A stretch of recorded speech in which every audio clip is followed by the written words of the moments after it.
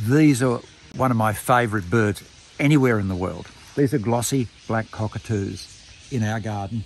I feel so proud that we have them.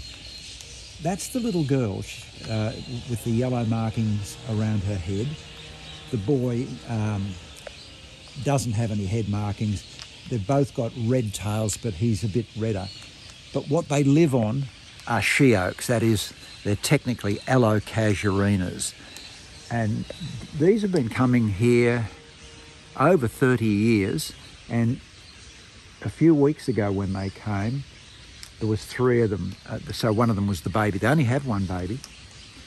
Um, these birds will probably be extinct soon. In the Sydney area, the only she oak they'll eat is Allocasuarina littoralis. So this is uh, an Allocasuarina littoralis type of she oak that they eat. Uh, I planted this one, and although it's a little bit blown around because it's just on rock here, this is what dinner is like. So if you look at it, there's, if you like the cone or whatever, inside that would be about 50 seeds and they patiently just pick them out one after the other. And if you go to a really good native plant nursery, they may have some of the particular uh, she oaks that they eat.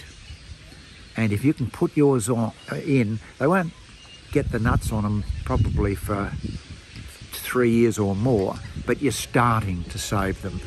We're in Sydney, there's very few of these in Sydney, and usually they're in the areas where there aren't houses, it's sort of a bit of bushland. If you put out food for most cockatoos, you know, sunflower seed and all that, pretty much all the cockatoos will go, how good's that, and start eating it. Not these guys. They only eat that. And if they have got an appropriate she oak, they starve to death. Like after those big fires on King, Kangaroo Island, where that's where the majority of these are, it wasn't the fires that killed them. It, they died of starvation afterwards because they don't know what else they can eat and they don't seem to be able to work it out. We're right next to them. They're the most placid, beautiful creature. But if we can't work out some way that they can get food, uh, they will become extinct. So that's the one we all should be saving. If you're ever going to work on one species of animal in Australia, the glossy black cockatoo. How lucky are we to have them sharing our lives with us?